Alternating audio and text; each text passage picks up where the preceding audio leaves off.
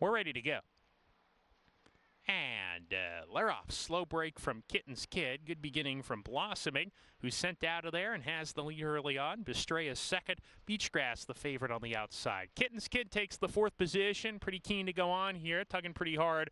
Moving up alongside of Beachgrass and Busker Alley is the clear trailer into the clubhouse turn. Not a fast pace established by Blossoming, who's on the fence, continues to pave the way. About a length in front of Bestrea. It's getting a little bit closer now. Just a half length off this leader as they start to pick up the tempo, approaching the backstretch run. Kitten's Kid still on restraint third with Beachgrass, who's settled down on her outside, and that pairs four or five clear of Busker Alley with five furlongs to travel. The top two going at it now. Blossoming inside, Bestrea outside. This is surely a faster second quarter mile than the first, and those two ding dong approaching the turn.